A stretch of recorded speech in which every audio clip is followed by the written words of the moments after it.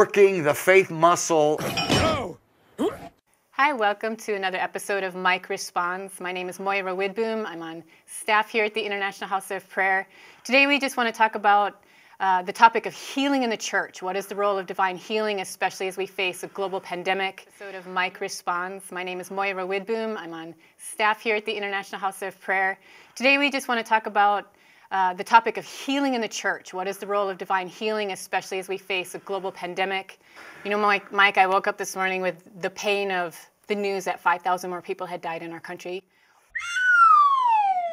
Overnight, 4,000 died last night, the night before. Over 2 million people worldwide have been infected with the pandemic virus. It just seems like if there was ever a time for healing to be manifesting in the church, it's now. It's the living witness of having a theology that we can't demonstrate that speaks against us. He's a dear friend. I have such affection and respect for him. We have such a great time. We spent hours today talking and laughing and inspiring and I have read his books, watched his videos, stole his material shamelessly. So, why are we not seeing more healing power manifested in the church? And is it even relevant for today? It's the living witness of having a theology that we can't demonstrate that speaks against us. Excellent question, Moira. And I appreciate your years here on our staff and being a part of our leadership team. And I just, I love the way you carry yourself before the Lord and the way that you love the Word of God. Well, the subject of healing, you know, much of the body of Christ, they think that healing passed away. Mike Bickle is using a very common false dichotomy argument. He makes his opponents sound so bad that you are forced to agree with him. The truth is, there are tons of Christians who believe in in uh, healing. They they pray for healing. They ask God to heal them of sicknesses, as well as going to the doctors, just like Mike Bickle does. The difference is. Most Christians don't assume that it has to happen. We don't tell God what to do. God is sovereign. God can heal us, but it doesn't mean that He always will heal us. That's the position that He doesn't allow to be represented. And obviously, we don't. Hundreds of millions of believers are very, very confirmed and, and convicted and sure that healing is for today. Even though Mike says that he's convicted that healing is for today, he's going to spend most of this video talking about why it's not actually happening or it isn't being shown. And so, why is it there more healing? I'd like to suggest to you that if everyone believed miracles were for today, actually could demonstrate them, there would no longer be a group of people that didn't believe they were for today.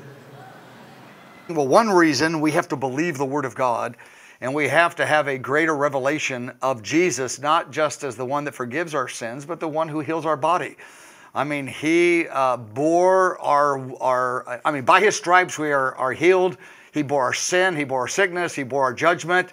And so healing's made available through what Jesus did. This is basically word of faith teaching. Healing has been made available by what Jesus did, but then you've got to jump through certain hoops in order to get the healing.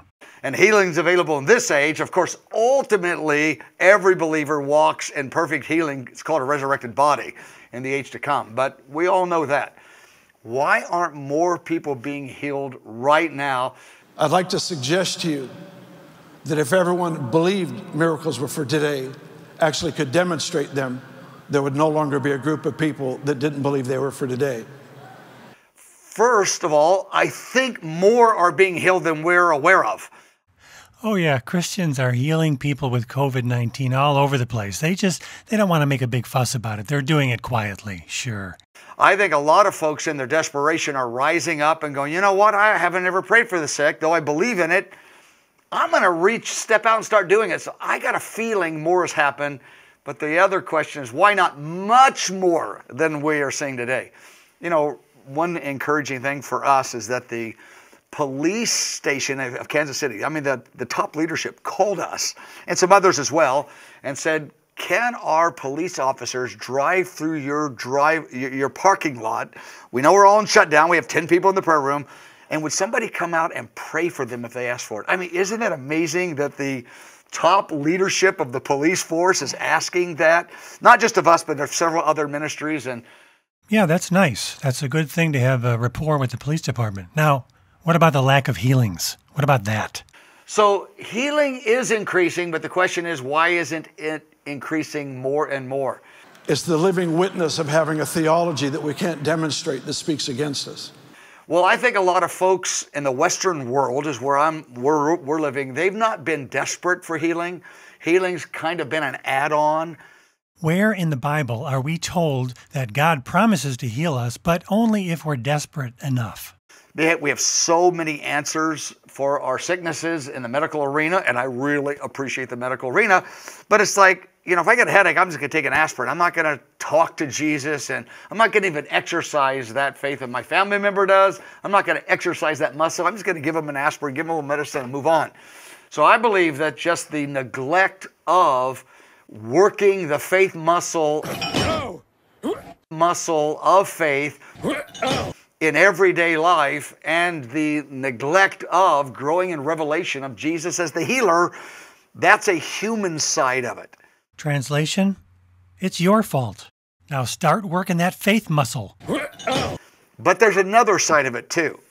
And this is, I'm going to address this on my Wednesdays, 7 p.m.s. I'm taking them for the next number of weeks and, and going to be talking about topics more in depth for a longer period of time. And I'm going to talk about this. This is a strange one.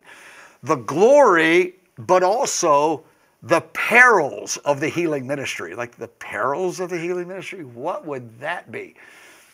Even though Mike Bickle and guys like him have been talking about this new generation of super Christians who are going to heal everybody and it's going to change the world, they've been talking about that for decades. Now he's going to come up with an elaborate excuse as to why none of that is happening.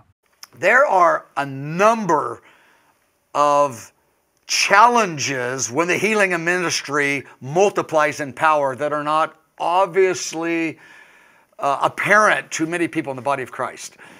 For instance, if somebody could move in the power that Jesus moved in, I mean at the level, I don't mean a miracle here there, but regularly, the social implications would be beyond anything we could imagine. Imagine, this is my theory, but I think it to be true if this guy prayed for somebody's blind eyes to open out in the parking lot today, and 10 more blind people came and all 10 of them were healed, and then the word got out, social media, then 10 paralytics, and all 10 of them were healed. I don't mean one out of those 20, all, 10 out of 10 blind, 10 out of 10 paralytics. By tomorrow afternoon, Arrowhead Stadium would be filled. Well, we're in the shutdown, so that doesn't, right, that doesn't count right now. But my point is, You and I don't have the luxury of living a powerless gospel. the implications of a healing ministry, millions would gather in a 24 hour notice if 10 paralytics in a row, 10 dead people, 10 blind eyes open, 10 for 10 in a 24 hour period, they would gather in the stadium. Then the social implications of that would be beyond anything any of us are thinking about. People like Mike Bickle and Bill Johnson and many of their friends have been talking about how vitally important it is to do these gigantic healing events, and now he's talking about why it's such a bad idea. And this is all based on the idea that supernatural signs and wonders are what people need in order to believe in Christ, which is not what the Bible teaches. Let's look at a part of the video I did of Bill Johnson's speech at the One Thing conference back in 2016. I want you to notice it says there were three cities in which most of Jesus' miracles were done.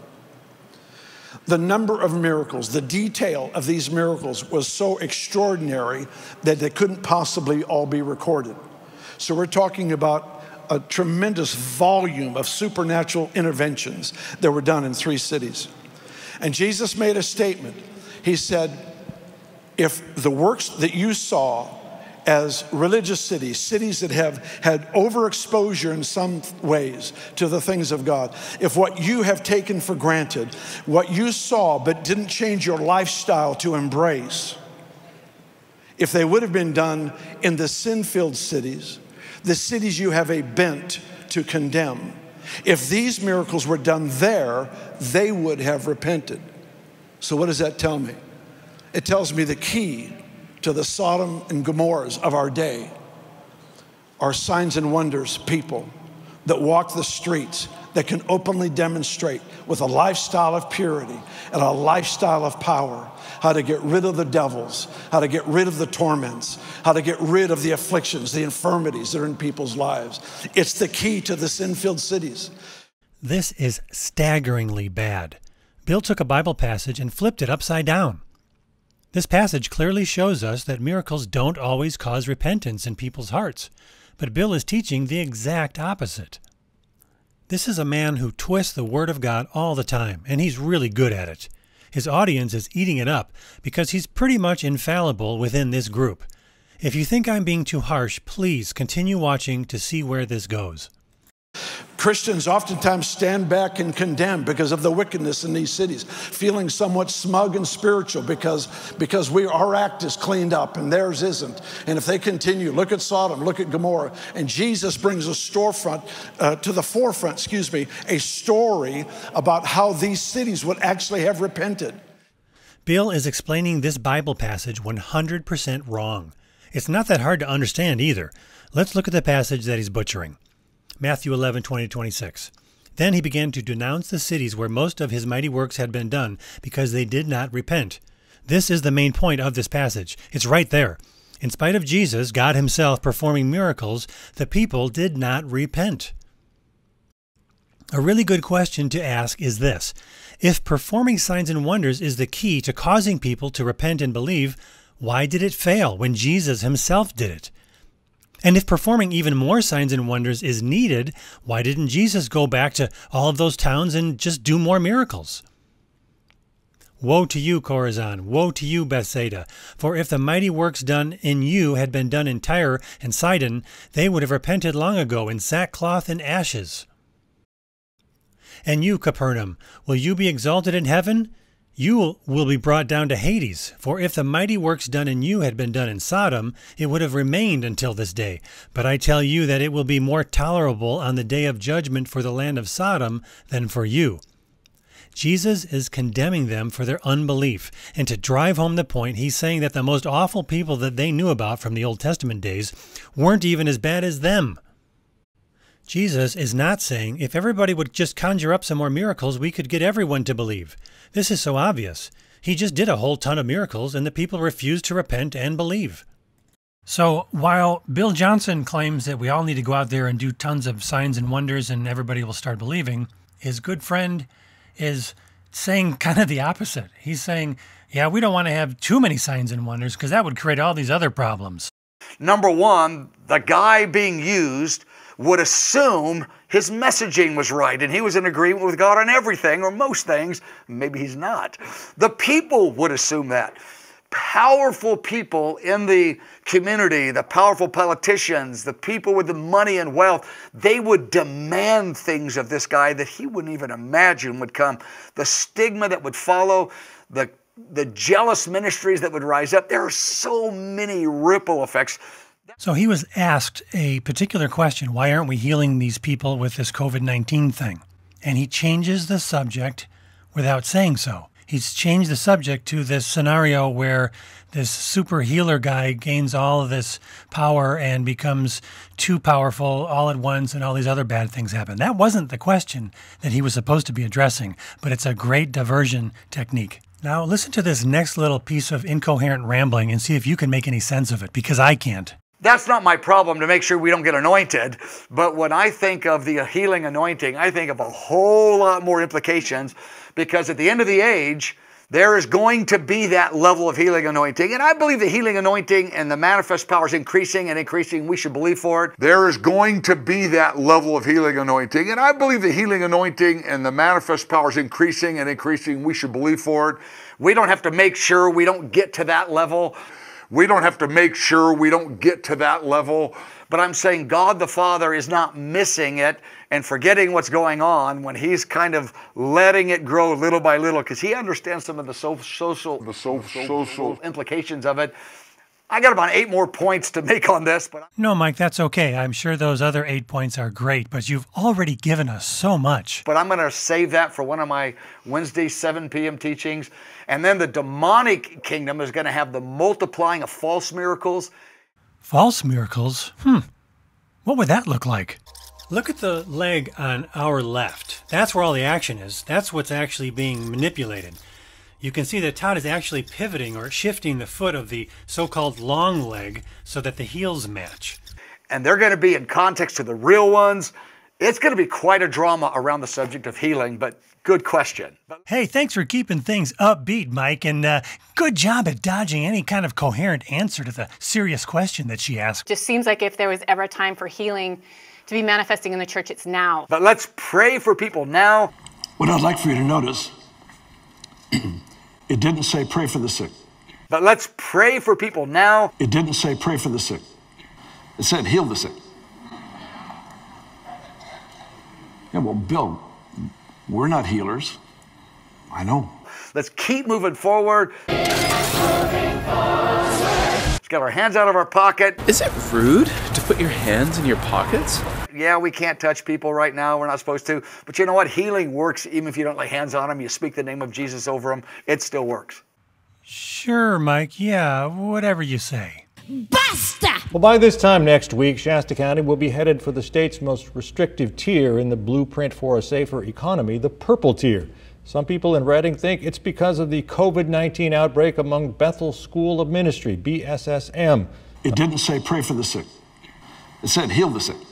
I have read his books, watched his videos, stole his material shamelessly, been instructed by the Lord through him. I love you, Bill. Thank you for coming here.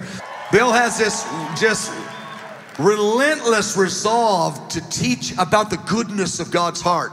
The Lord is good. And that is what this book is about. Just give a minute on that before you take off and begin your message, if you don't mind. I want him to get this book. Just seems like if there was ever a time for healing to be manifesting in the church, it's now. The tragedy in this day is that we have many people filled with knowledge that cannot demonstrate what they know and what they believe.